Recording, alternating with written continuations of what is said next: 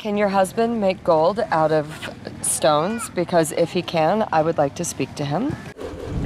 I'm Paula Froelich. Take a journey with me to explore the unknown and discover the unexpected. This is A Broad Abroad. The adventure starts now. Once upon a time, according to the legend of the Padaung tribe in Myanmar, thousands of years ago, an alchemist wandered into the forest and fell in love with a dragon. The dragon then laid three eggs, out of which were born three tribes the Pa'o, the Karen, and the Padaung. Since then, in order to honor their basilisk mother, the Padaung women have elongated their necks to resemble a dragon. So all the women are dragons and all the men are alchemists? Oh, dear. Nice. Um, can your husband make gold out of stones? Because if he can, I would like to speak to him. Mule has been wearing 24 brass coils for 43 years. Her neck is now 12 inches long.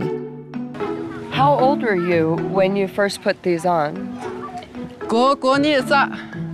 And how many did you start with? Ah. What would happen if you took them off? Would your neck be able to support your head?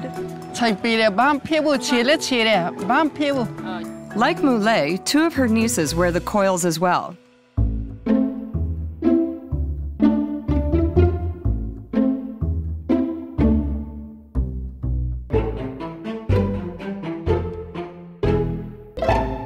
And once they're on, they stay on forever. Your grandmother said that uh, the younger generation is not wearing it so much anymore. Why did you decide to wear it? Oh. oh. What do they think about you wearing the rings?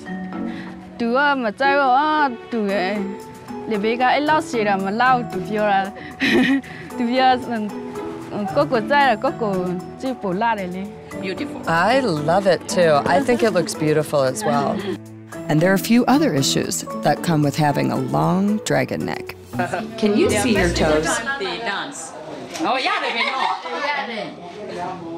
know. No problem. On the next A Broad Abroad, want to know where diamonds are not a girl's best friend? Take a stroll with me through Mandalay's Jade Market as I try and strike it rich.